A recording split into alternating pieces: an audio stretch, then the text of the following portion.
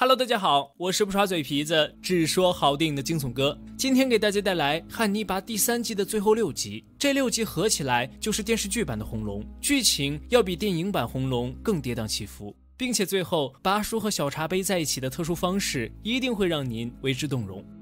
影片开始，一位年轻人坐在图书馆里，用手比划着奇怪的姿势，桌上放着一本名为《伟大的红龙》的杂志，书的扉页是一幅有关红龙的画作。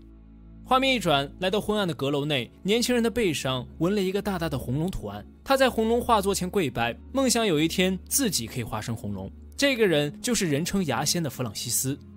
镜头回到犯罪精神病院这边，被抓的汉尼拔·莱克特被关在了精神病院里。虽然背负了十三条人命，但是因为其作为实在是让常人无法理解，所以被诊断为精神病患者而免于死刑。警探杰克又一次找到早已回归家庭生活的小茶杯，他对小茶杯说：“有两个家庭相继被灭门，作案手法一模一样，但是没有留下任何线索。FBI 不知道该从何查起，所以想再次请小茶杯出山协助侦查。”小茶杯此时已经结婚，还有一个继子，一心想回归平静生活的他陷入了纠结之中。妻子看出了他的心事，鼓励他参与破案。小茶杯带着几分忧伤地说：“如果我参与，等我回来时，可能就不再是现在的我了。”妻子则体贴地说：“我不会变的。”深夜，小茶杯打开汉尼拔在狱中写来的信，信中说：“相信杰克肯定会再次找到你，但是我奉劝你不要参与，那会破坏你的平静生活，把你扔向无边的黑暗。”已经与拔叔恩断义绝的小茶杯，自然不再在乎拔叔的话。他又看了看有关牙仙屠杀多个完美家庭的报道，最后决定参与调查，以阻止牙仙伤害更多家庭。他来到犯罪现场进行侧写，认为罪犯是切割开门上的玻璃，打开房门，先把男主割喉，然后开枪打死了女主人，最后又杀害了两个孩子，砸碎镜子，把镜片放到女主人的眼睛和嘴巴处。女主人尸体上有滑石粉，说明牙仙猥亵了女主人。FBI 法医室这边，法医从女主人眼睛上发现一枚指纹以及身体上的咬痕。从咬痕上看，凶手有好几颗烂牙。小茶杯向杰克提出，他需要恢复一种思维，才能更好的做犯罪侧写，而恢复这种思维必须要见拔叔。杰克表示支持。小茶杯带着资料来见汉尼拔，汉尼拔先是对小茶杯一顿冷嘲热讽，不过在小茶杯的坚持下，拔叔还是同意帮他分析。拔叔看了资料之后，认为凶手很害羞，很可能面容有缺陷，或者自认为有缺陷。打碎镜子放到受害者眼睛上，是为了看到受害者眼中的自己。拔叔还询问了两个受害家庭院子里的情况。小茶杯说，这两家都有大大的院子，院子周围有很多树。拔叔认为凶手是选择隐蔽的院子，实施犯罪后在院子里对着月亮进行朝圣。小茶杯再次来到受害者家庭附近调查，发现一个折断的树枝，说明凶手会蹲在树上观察受害家庭。还在一棵树上发现一个汉字“中”。牙仙弗朗西斯这边天生兔唇，说话又有些结巴的他，敏感且内向，与大多数同事距离疏远，但是与盲人女同事莱巴关系还不错。这天，他找莱巴借红外胶片，说自己要拍摄夜行动物。莱巴很是爽快，还说这种红外胶片冲洗非常麻烦，主动提出可以帮弗朗西斯处理。弗朗西斯颇为感动。晚上下班时，弗朗西斯主动要求送莱巴回家。到家时，莱巴邀请弗朗西斯进屋坐坐，还给他准备了三明治和咖啡。聊天中，莱巴对弗朗西斯说：“其实我一直觉得跟你在一起特别轻松，因为你不怜悯我，把我当一个正常人看。”怜悯对我就是侮辱，我不喜欢那样的感觉。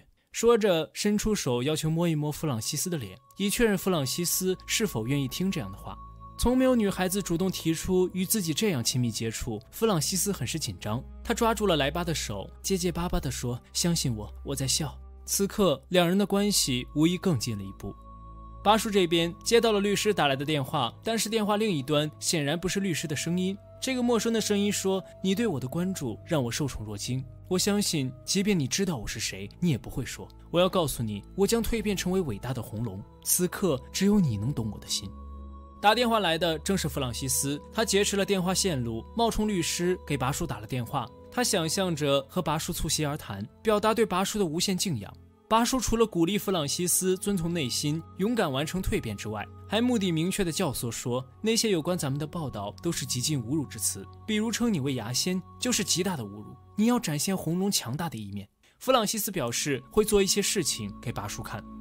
对莱巴感情不断升温的弗朗西斯，因为莱巴的一句“从没见过老虎”，驾车带着他来到动物园，趁着动物园给老虎修正牙齿的时机，让莱巴摸一摸老虎。莱巴很是感动。从动物园回到家，在莱巴的主动攻势下，两个人的关系很快有了突破。陷入莱巴温柔的臂弯，弗朗西斯几乎要忘了自己蜕变为红龙的梦想。第二天醒来，有一个声音不断在他耳边回响。他跑到阁楼上，面对红龙的画作，似乎听到了红龙的声音：“杀了他，杀了他！”按照红龙的恶性，他会杀了所有和自己发生关系的女人。现在，红龙要求弗朗西斯也这样做，但是弗朗西斯是真心的喜欢莱巴，因此他内心陷入了极度的挣扎。犯罪精神病院这边，拔叔冒充出版社工作人员，打电话到切尔顿医生的办公室，以要给小茶杯邮寄书籍为名，轻松骗取了小茶杯新家的地址。但是小茶杯完全没有察觉拔叔的险恶用心，他把最近的发现及书上有一个“中”字这一发现给拔叔分析。拔叔说，这个中国字意为中标，也有红龙的意思。拔叔提到一幅著名画作《伟大的红龙与身披太阳的女人》，红龙站在一个哀求的女人面前，用尾巴死死缠着女人。这是一幅具有典型的恶魔性欲气息的作品。很显然，罪犯是在模仿这幅画的场景。巴叔建议小茶杯去观察这幅画。弗朗西斯这边为了制止红龙教唆自己杀死莱巴，他决定吃了那幅最著名的红龙画作。趁着周二不对公众开放之际，他以学术研究为名进入布鲁克林博物馆，要求工作人员拿出那幅著名的红龙画作。趁工作人员不备，弗朗西斯打晕工作人员，把他拖到一个角落里之后，一点一点把那幅珍贵的红龙画作吃到了肚子里。与此同时，为了获得灵感，小茶杯也进入博物馆，准备参观这幅画作，却与吃完了画作准备离开的弗朗西斯擦肩而过。小茶杯察觉到了异常，追到电梯里，结果被弗朗西斯直接扔出了电梯。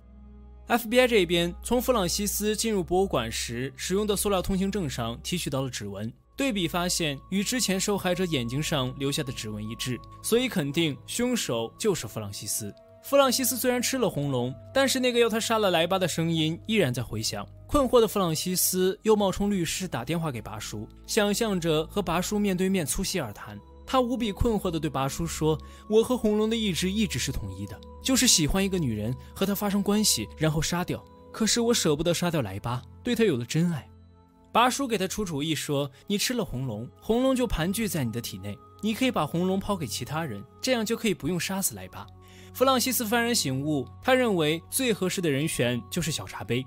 拔叔还提醒弗朗西斯说：“他有家庭，这不符合红龙的身份，你必须杀了他的老婆和孩子。”弗朗西斯心领神会，他很快行动了。趁着小茶杯不在家的时机，他潜入小茶杯的家里，准备动手时，小茶杯的妻子带着孩子驾车逃跑了。弗朗西斯对着车子连开数枪，很不幸，小茶杯妻子中弹受伤。赶到医院的小茶杯伤心不已，向儿子保证一定会抓住罪犯。犯罪精神病院这边，布鲁姆发现拔叔的律师最近根本就没有给拔叔打过电话。那么最近几次拔叔是和谁通话的呢？他们终于明白，巴叔和弗朗西斯有联系。杰克推断，杀小茶杯妻子失败的弗朗西斯很快会再次和巴叔联系。他要求巴叔到时拖住弗朗西斯，FBI 进行监听，以确定弗朗西斯的位置。巴叔欣然答应，因为他的乐趣就在于看 FBI 和弗朗西斯斗智斗勇。弗朗西斯这边杀小茶杯妻子失败受挫，他的自我人格和红龙人格产生了激烈的冲突，犹如两个人在激烈的搏杀。显然，最后红龙人格战胜了他的自我人格。不久后，当莱巴再次来家里与他约会时，他哭着对莱巴说：“我不能跟你在一起了，我怕伤害你。”莱巴悲伤地说：“我知道，大部分男人都害怕背上负担，何况我是比常人更大的负担。我理解你的选择。”然后转身摸索着离去，留下一脸悲伤与纠结的弗朗西斯。拔叔果然又接到弗朗西斯冒充律师打来的电话。弗朗西斯对拔叔说自己很纠结，担心自己的红龙人格真的会杀死莱巴。拔叔故意挑唆道：“看来你无法摆脱红龙，你是进化后的红龙，你应该意志更坚定。”然后又说了句：“他们在监听。”就突然挂了电话。弗朗西斯赶忙逃跑。气愤的杰克终于明白，拔叔这是在戏弄他们，自得其乐。对于拔叔的行为，小茶杯越来越难以理解。他找到拔叔曾经的心理医生彼得里亚，让他帮忙分析。彼得里亚说：“汉尼拔给了你三年时间，让你组建家庭。现在他十分有信心拆散你的家庭，再次得到你。”小茶杯几乎自言自语地说道：“他有那么爱我吗？”彼得里亚说：“是的，他每天都在渴望你，每次见到你都感到莫大的慰藉。”小茶杯陷入了深深的困惑之中。FBI 这边为了尽快抓住弗朗西斯，他们请小报记者费雷迪过来采访齐尔顿和小茶杯，写了一篇有关弗朗西斯的报道。大致意思是，他们分析认为弗朗西斯样貌丑陋、性无能、成长自一个乱伦家庭等等，还配了一张切尔顿和小茶杯的照片。照片中刻意通过窗外的景色暴露拍照位置，以刺激弗朗西斯找小茶杯报仇。拍的照时，小茶杯刻意扶着切尔顿的肩膀。弗朗西斯看到报道之后，果然很快出手了。不过，他报复的目标不是小茶杯，而是切尔顿，把切尔顿绑到家里，直接咬掉了他的嘴唇。巴叔很快收到了弗朗西斯邮寄过来的切尔顿的嘴唇，一脸的得意。小茶杯这边和彼得里亚聊天时坦诚，自己和切尔顿拍照时刻意把手放到他的肩膀，为了在照片凸显切尔顿的中心地位，因为他好奇弗朗西斯会如何报复切尔顿。彼得里亚感慨道：“你真的与汉尼拔越来越像，你们都对于暴力充满好奇，并乐于操纵暴力。”弗朗西斯这边红龙人格越来越强大，他把莱巴绑到家里，向莱巴坦诚自己就是牙仙。弗朗西斯想遵循红龙的召唤杀了莱巴，但是还有几分不舍，所以告诉莱巴自己脖子里挂有钥匙，还让莱巴熟悉了逃跑路线，在屋子里洒满汽油。点着之后，看着不断颤抖、哭泣的莱巴，弗朗西斯说：“我不忍心看着你被烧死，我要先走一步。”然后就是砰的一声枪响，莱巴爬过去，从尸体上摸到了钥匙，然后摸索着逃了出来。小茶杯这边，当他回到暂住的宾馆时，被人从身后突然控制了。这个人正是弗朗西斯。他对小茶杯说：“汉尼拔·莱克特背叛了我，他答应过不会暴露我身份的。我现在比红龙还强大，我要改变汉尼拔·莱克特。”请问，我该如何才能见到汉尼拔？此时的小茶杯很乐意看到拔叔和弗朗西斯斗，他心中有了主意。FBI 经过检验发现，弗朗西斯家发现的烧焦的尸体并不是弗朗西斯，而是不久前失踪的一个人。这不过是弗朗西斯的一个金蝉脱壳的计谋而已。接下来就是小茶杯主导的与拔叔相爱相杀的好戏。用小茶杯做诱饵抓住红龙的计划失败，还搭上了切尔顿。小茶杯另生一计，他对杰克说：“抓住红龙的最好办法还是诱捕，这次需要用更具吸引力的诱饵，那就是汉尼拔·莱克特。红龙会认为杀了汉尼拔才算吞没了他，超越了他。”小茶杯给杰克说了自己的完整方案：首先伪造拔叔越狱逃跑的假象，然后暴露拔叔的位置，吸引红龙前来，一举抓获红龙。杰克表示认可。小茶杯把自己的想法透露给了对拔叔有着同样复杂情感的彼得里亚。彼得里亚说：“一旦让汉尼拔逃脱，就再也没有抓住他的机会了。”小茶杯吐露了自己的真实目的。他说：“我本来就不打算让汉尼拔再次被抓住。”彼得里亚说：“我知道你对他的情感，不能与他共处，又不能失去他。”小茶杯承认这是自己的蜕变，一种越来越与拔叔趋向的蜕变。他还劝说彼得里亚收拾行李离开，免得被拔叔吃掉。很明显，彼得里亚对即将到来的拔叔既害怕又渴望。FBI 这边派布鲁姆和拔叔谈判合作条件。拔叔本来可以在监狱里自由的读书和绘画，还有独立的卫生间，但是因为与牙仙勾结，作为惩罚，这些都被剥夺了。现在只要拔叔同意合作，伪装逃跑，就可以恢复以上所有权益。但是拔叔提出一个条件，那就是要小茶杯来求他。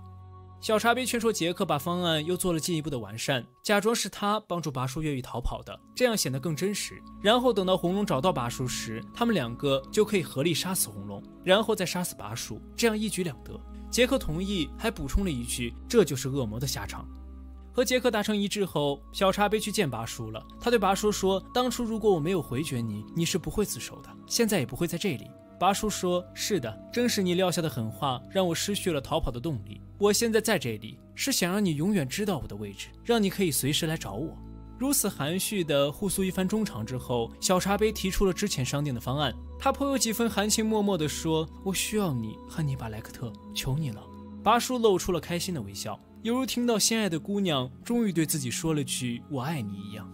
行动很快开始，囚车内小茶杯陪伴着拔叔，但是还没等到拔叔和小茶杯假装逃跑，一辆警车追了过来，驾车的正是红龙弗朗西斯，他直接把车横在路上，挡住了车队的去路，然后是一阵血雨腥风的屠杀，所有押送的警官毙命，红龙也消失不见。拔叔和小茶杯从囚车内爬了出来，拔叔对小茶杯说：“不用担心，红龙不会在这里杀了我们，他会找一个隐秘的场所，然后开着一辆警车载着小茶杯扬长而去。”来到现场的杰克看到眼前的一片狼藉，终于认识到自己就是一个傻子，表情如石化了一般。拔叔带着小茶杯来到他的一处海边别墅，波涛汹涌的海岸边，拔叔对小茶杯说：“你和我置于翻滚的大西洋上，从来没有如此的美好。但是这一切将被大海吞没。”晚上，正如拔叔所料，红龙很快出现了。他一枪打中了拔叔的腹部，击倒了拔叔，然后架起摄像机要拍下拔叔受死的过程。红龙称，杀死拔叔将会使自己完成最伟大的蜕变。这时，身后的小茶杯欲救拔叔，结果红龙有所察觉，他决定先解决掉小茶杯。拔叔爬起来加入战斗，一番激烈的搏杀之后，拔叔和小茶杯合力击倒了红龙。红龙身下的血液蔓延开来，犹如画作中红龙的翅膀。此刻，他真的完成了蜕变。影片的最后，拔叔和小茶杯紧紧地抱在一起。拔叔说：“看到了吗？这就是我想让你看到的，在月光下，血液是黑色的，如此的美丽。”小茶杯喘息着说：“是的，真美。”然后紧紧相拥的两个人跳下了悬崖。巴叔最终以这样的方式得到了小茶杯。剧中其他人物也有了不同的结局。布鲁姆和马格偷了梅森的精子后，由布鲁姆生了个儿子，顺利继承了家产，一家三口过着幸福的生活。而对拔叔又爱又恨又怕的彼得里亚，知道再也等不来，曾经承诺要吃了他的拔叔，就自己烹了自己的一条腿。看着满桌的美食以及自己残缺的腿，脸上写满了没落与悲伤。汉尼拔第三季结束，最后这六集剧情以红龙为主线，除了红龙对拔叔从崇拜到服从，再到发觉被拔叔出卖，决心要杀了拔叔这条线之外，小茶杯对拔叔的情感变化也颇有看头。在第四集中，小茶杯对拔叔撂了狠话，说自己宁愿想自己的狗狗，也不会想念拔叔。拔叔知道小茶杯再也不会去追他了，伤心的拔叔没有了潜逃的动力，所以选择自首。红龙案发之后，小茶杯最开始只想破案，但是拔叔抓住机会，鼓动红龙破坏小茶杯的家庭，试图找回昔日的小茶杯。渐渐的，小茶杯对拔叔旧情复燃，决定救出拔叔，所以有了越狱吸引红龙的计谋。最后，小茶杯和拔叔双双跳崖的一幕，虽然血腥残忍，但是又让人无比的动容。好了，《汉尼拔》三季共三十九集，终于为大家解说完毕。最后一季压缩比比较高，舍弃了不少细节，定有不当之处，望各位小伙伴多多包涵。谢谢大家的支持和指正，咱们下期见。